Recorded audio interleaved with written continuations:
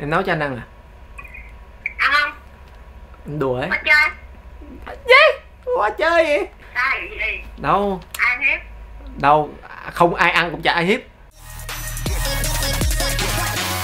Vừa rồi thì Caric cũng đã vượt qua những cái thử thách mà Ellie đưa ra rất là trơn tru.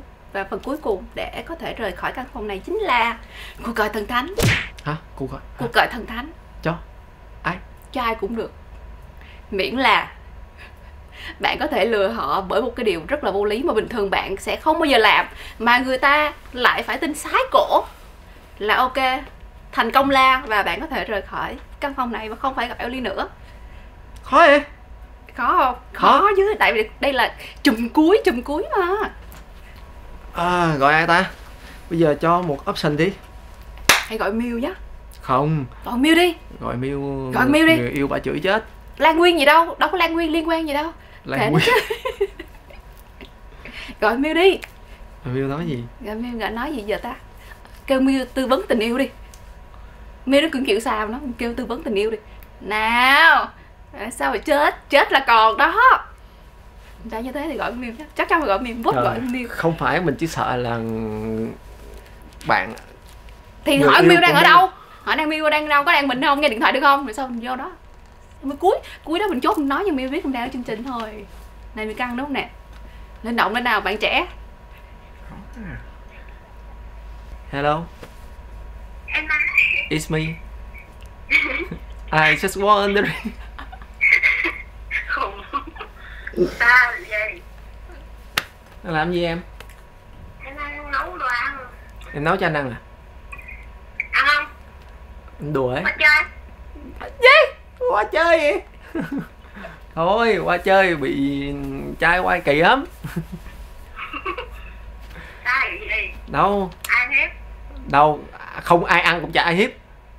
Vấn đề là tự nhiên suy nghĩ um, muốn nói em điều này mà không biết nói làm sao từ bữa giờ tính nói rồi. Sao? Um, um, um, khó quá khó nói quá ba. Có bầu hả? Không em bị điên à em bị hâm à? Đùa sao vậy đâu thì anh đi. tính nói là bây giờ anh còn thích em quá thì nhìn sao? Im liền. Ừ để mi mặn một phút. Sao đang quay cái game gì không không anh có quay gì đâu. Anh có quay cái game gì xong kêu gọi cho em. Không không không có. Vậy hả? Ừ. bây giờ em cứ trả lời đi rồi anh sẽ nói. Nói xạo là bài hát không được lên top 1 trending what? Thôi không có thể anh đạo anh đạo anh đạo công giáo anh không có được thề. Rồi. Ừ. sao trả lời đi sao như nào? Câu hỏi là cái gì? Câu hỏi là bây giờ anh nếu bây giờ anh thích em anh còn thích em thì sao em có cho anh cơ hội không anh thề luôn á là đang quay cái game gì đây nè bán trò này bây giờ em trả lời đi anh rất nghiêm túc. Bây giờ anh nghiêm túc thật sự. Trời ơi đang đi toilet luôn á. Mệt ghê á sao? Vậy hả đang đi toilet đang đi toilet. Sao lúc mày mới nói nấu ăn? Thì đang nấu canh xong rồi cứ cứ tung tung tung tung đi toilet nè. Ơi cái gì mà thích? Cuộc gọi này nó mất cảm xúc quá. Ok. Thương ok vậy nấu ăn đi ha đi toilet đi rồi anh sẽ gọi lại sau nha trời nghe ở đây đi. Bye bye.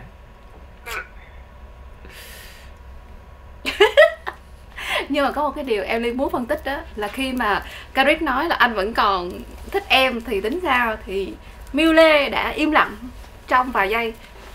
Em Miu Lê đã im lặng trong 3 giây mà đối với phụ nữ con gái nhé nếu mà im lặng trong chừng đó giây có nghĩa là người ta có một cái tín hiệu gì đó suy nghĩ về cái chuyện đó một cách nghiêm túc chứ không phải là biết bị lừa hoàn toàn đâu. Không có đâu bà cầm điện thoại ra bà cười ha vậy đó. Biết lắm. Phải không? Thiệt. Hiểu nhau đến mức vậy luôn hả? Đúng.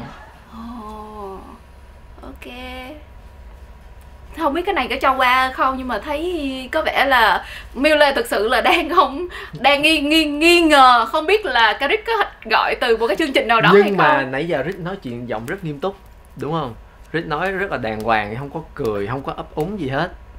Nhưng mà hai người hiểu nhau nhiều á thì chắc là người ta sẽ kiểu linh ra được linh ra được có nghĩa là đang đang làm cho mèo vậy đi.